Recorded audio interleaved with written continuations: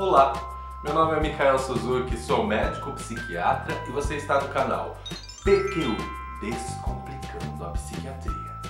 Gente, hoje eu vou falar sobre um transtorno relativamente pouco conhecido que é o transtorno narcisista. Você já deve ter ouvido falar sobre narcisismo. Ele vem daquele mito grego, né? Tinha um cara, Narciso, ele era muito lindo, só que era muito arrogante. Aí os deuses, para dar uma lição nele, fizeram com que ele se apaixonasse pelo próprio reflexo na água. Ele ficou tão apaixonado que ele não conseguia sair de perto de seu reflexo e acabou morrendo. Daí Afrodite, para dar uma poesia na história, transformou ele na flor Narciso. Bom, gente, um pouco de narcisismo é ótimo. Ótimo não, é fundamental para a gente se sentir bem, para a gente viver bem. A gente tem que se gostar, tem que ter uma autoestima legal. No entanto, existem algumas pessoas que se desenvolvem de uma forma em que elas praticamente só gostam de si mesmas. E gostam muito, né? Então, elas de forma que elas nem conseguem se relacionar de fato com outras pessoas. Elas ficam presas dentro de seu próprio mundo. E é essas pessoas, sobre essas pessoas que eu quero falar hoje. Esse é um vídeo bem introdutório sobre transtorno narcisista, mas basicamente o que acontece é isso, a pessoa se desenvolve, desenvolve uma personalidade em que ela dá muito valor a si própria. Então, ela não consegue enxergar de fato as outras pessoas, ela vive dentro de si mesma. Eu vou apresentar duas características fundamentais deste transtorno e a ideia é que você consiga entender um pouquinho sobre como funciona e saber que isso existe e caso se identifique com algumas dessas características ou identifique alguém ao seu redor que sofra disso, vale a pena dar uma orientaçãozinha. Vamos procurar um profissional aí que pode te dar uma orientação, tá bem? Bom, vamos começar a primeira característica que eu vou pontuar do transtorno narcisista é a grandiosidade, a autovalorização excessiva. Né? Então, a pessoa narcisista ela é muito voltada para si mesma, é muito grandiosa, consegue se acha muito superior às pessoas que estão ao seu redor. Então é essa se valoriza muito. Ai, entender, cara, como que é possível, meu?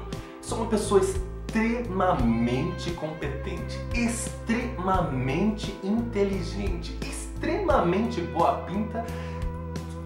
Eu sou maravilhoso. Como que eu fui terminar a minha vida sozinho? Como que é possível que as pessoas não queiram estar ao meu redor?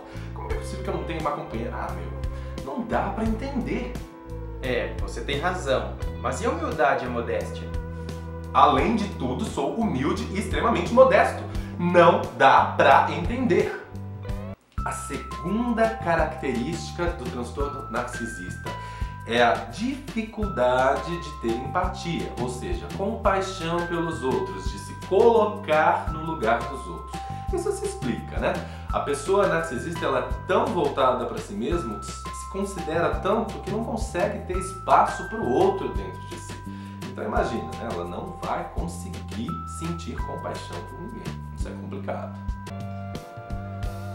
Ah, essa semana foi uma semana cansativa.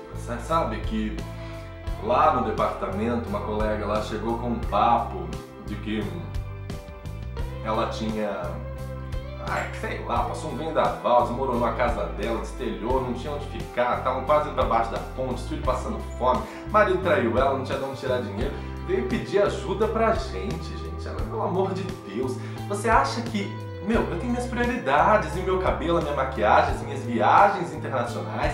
É, gente, não dá pra ajudar as pessoas, como assim? Mas você já tentou se colocar no lugar dela? Querida, se isso acontecesse comigo, eu me matava. Eu nasci pra ser top. Né? Se isso acontecer, eu sumia, eu não existiria. Gente, esses casos que eu apresentei estão, um pouco exagerados, são muito óbvios do, da pessoa narcisista que sofre com narcisismo ou faz as pessoas ao seu redor sofrerem. Mas existe um tipo de narcisismo que ele é um narcisismo disfarçado. Então, cuidado, viu? Ai, amigo, nossa, tô me sentindo muito mal, sabe? Eu tento, eu tento fazer o melhor possível, possível. Eu sempre tento ser o melhor possível, mas eu não consigo, eu nunca consigo, sabe? Eu sou muito, muito ruim, eu sou muito fraco, ah, eu sou muito burro, sério, não dá. Imagina, você tem muitas qualidades, você é muito competente, muito inteligente e até boa pinta. Ah, sério? Você me acha mesmo muito competente, muito inteligente, assim, muito boa pinta? Sim. Bom, gente, esse era o tema de hoje, transtorno narcisista. Espero que vocês tenham entendido brevemente o que seja. Se tiverem alguma dúvida, comentem e aí eu vou respondendo as dúvidas conforme elas forem surgindo, tá bem? Uma coisa importante é que a pessoa que sofre de transtorno narcisista, em geral, ela não percebe que ela tem um problema. Naturalmente, né? A pessoa se acha muito muito boa. Como que ela vai ter um problema? Como se achar muito boa vai ser um problema? Jamais. O que acontece é que ela acaba, devido a essas suas características, tendo dificuldades em se relacionar com outras pessoas e acaba causando sofrimento nas pessoas ao seu redor que acabam se afastando. Então vale a pena, se você se identificou com algumas dessas características ou identificar alguém ao seu redor que sofra disso, dar um toque ou então procurar saber um pouco mais sobre isso e eventualmente buscar um tratamento. O tratamento é basicamente psicoterápico, tá? Não é medicamentoso na maioria dos casos. E são psicoterapias individuais ou em grupo que levam aí um tempinho, mas em geral conseguem ir aos poucos modificando um pouquinho essa forma de viver ou eventualmente essa forma de sofrer, né? Então é isso, gente. Obrigado por assistir. Se gostou, compartilhe. Vamos difundir os conhecimentos em psiquiatria, vamos tirar essa nebulosidade sobre a psiquiatria. Né? Não é tão complicado assim, não é coisa de louco. Vamos ter qualidade de vida e viver melhor entre nós, certo? PQU Descomplicando a Psiquiatria. Tchau!